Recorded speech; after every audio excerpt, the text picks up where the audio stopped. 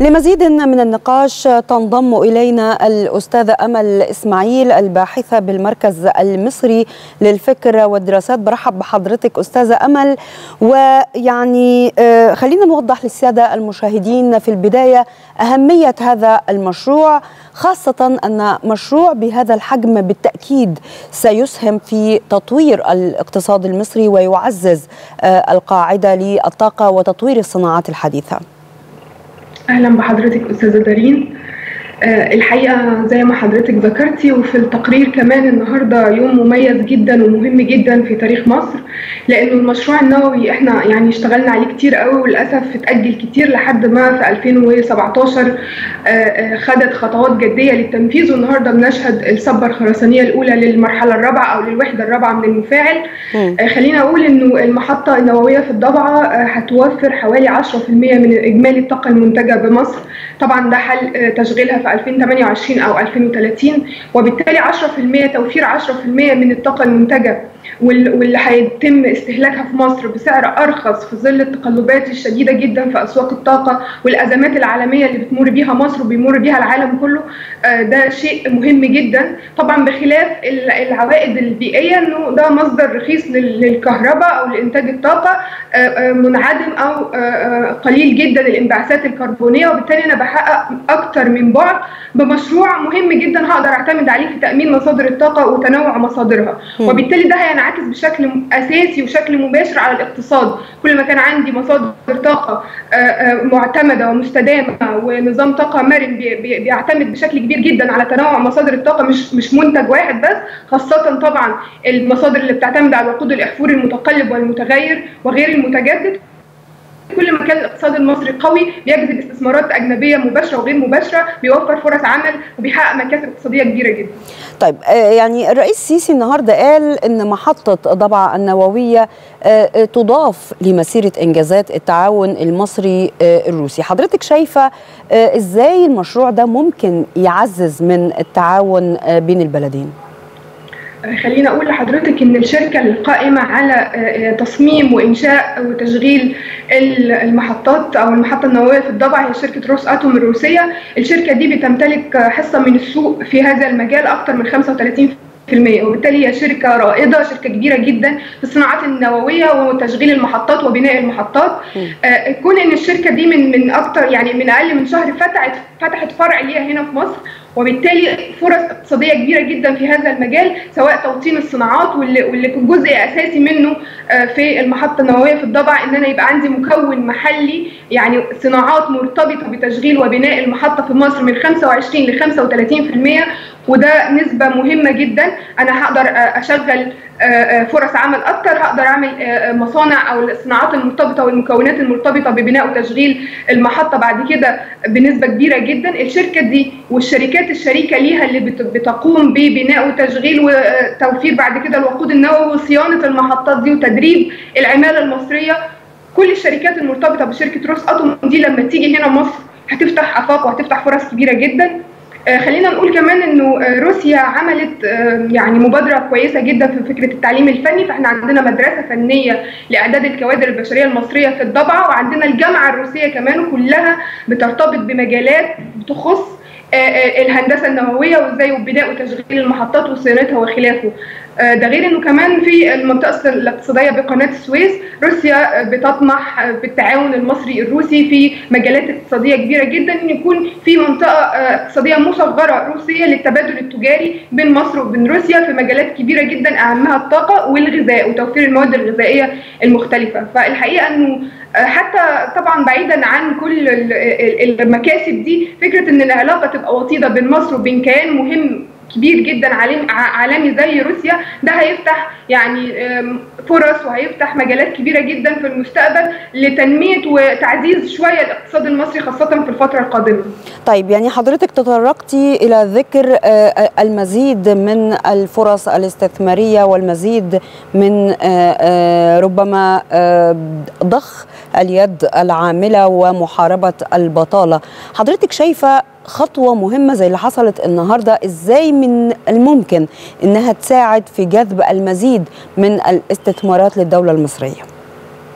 هقول لحضرتك تاني فكرة الشركات المرتبطة بالصناعات النووية وإن إحنا ما كانش عندنا الصناعة دي ده أول مفاعل نووي أو أول محطة نووية بتحصل في مصر طبعا بخلاف المفاعل يعني إحنا نقدر نقول إن مصر حصلت النهارده على صناعة جديدة وهي الطاقة النووية. صناعة جديدة. تمام. صناعة بمكوناتها وصناعة فكرة إعداد الكوادر البشرية اللي هتقوم بتشغيل هذه الصناعة. ودي خطوة كبيرة جدا إحنا ما كانش عندنا فيها دور أو خبرة أو سابقة أعمال قبل كده. طيب وإحنا بنتكلم عن الصناعة الجديدة دي يعني آه لازم تكون هناك آه كوادر آه مدربة على هذه آه الصناعة وجود آه الخبرة الروسية على الأراضي المصرية برأيك آه هل من الممكن أن تكتسب الكوادر المصرية هذه الخبرة من آه المدربين السوفيات؟ هو ده ده شق أساسي في التعاقد بيننا وبين روسيا في هذا المجال إن يكون التشغيل بيعتمد على العنصر البشري المصري. يعني روسيا هتيجي هتبني المفاعل هتصممه هتبنيه ولكن اللي هيشغله هم الأيدي العاملة المصرية طبعا بعد تدريبهم وتعليمهم كافة الأمور وهتفضل الشركة الروسية بمثابة المراقب أو المشرف على التشغيل لحد ما العنصر البشري المصري يكتسب الخبرة كاملة. غير إن نوع المفاعل نفسه هو يعني يعني بيعتمد أقل على العنصر البشري هو ذاتي أو آلي التشغيل يعني. لكن الخبرة الروسية في بناء وتشغيل المحطات وصيانتها بعد كده هتنتقل بالكامل إلى إلى مصر سواء من الفنيين وزي ما قلنا من خلال المدرسة الفنية ومن خلال الفريق الروسي اللي بيقوم بتدريب الكوادر المصرية دلوقتي أو حتى في المجالات المتطورة شوية زي اللي بتحصل في الجامعة الروسية وفي الأقسام المختلفة اللي فتحت في باقي جامعات مصر.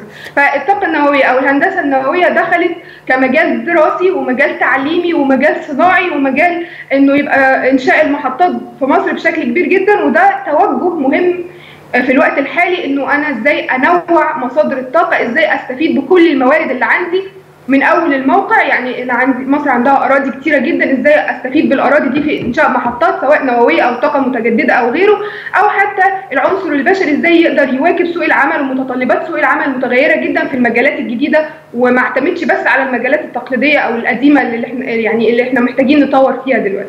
طيب يعني إذا استطعنا أن نتحدث بشكل مجمل عن الفوائد اللي ممكن تجنيها مصر من وجود مشروع بضخامة محطة الضبعة النووية.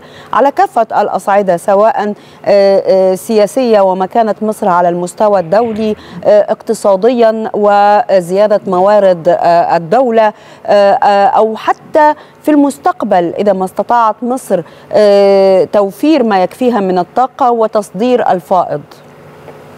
خليني أقول لحضرتك في الأول إن الطاقة النووية على مستوى العالم ده شق مهم جدا من مصادر الطاقة. يعني إحنا بنتكلم في أكتر من 500 محطة نووية في أكتر من 50 دولة وبالتالي هو مصدر إلى حد كبير مع التطور التكنولوجي الحادث حاليا في طرازات المحولات أو طرازات المفاعلات أو أنواع المحولات. إنه ده مصدر للطاقة موثوق رخيص وحاليا بيكون كمان قليل الانبعاثات أو يمكن يكون منعدم الانبعاثات. وبالتالي إنه مصر تدخل هذا السوق وهذا المجال بمحطة كبيرة نسبيا 4800 ميجا ده محطة حجمها كبير نسبيا مقارنة بالمحطات الموجودة في العالم إنها تعتمد عليها باكثر من 10% من من طاقتها المنتجة. وبالتالي أنا بأمن مصادر الطاقة مصادر طاقة بسعر رخيص. هعمل يعني إلى حد كبير تأمين واستدامة وثبات في الاقتصاد المصري فيما يخص قطاع الطاقة ل 10 سنين وال 20 سنة قدام وفقا للاستراتيجية اللي أنا اللي مصر طورتها 2030 لأنه الأول أنا كنت بعتمد أو كنت عاوز أوصل ل 3% للطاقه النوويه إحنا دلوقتي هنوصل ل 10% من الطاقة النووية. المحطة تحديدا بتنتج أكثر من 35 مليار كيلو وات ساعة سنويا. يعني ده رقم هيوفر لي رقم كبير جدا من الطاقة المستهلكة في مصر.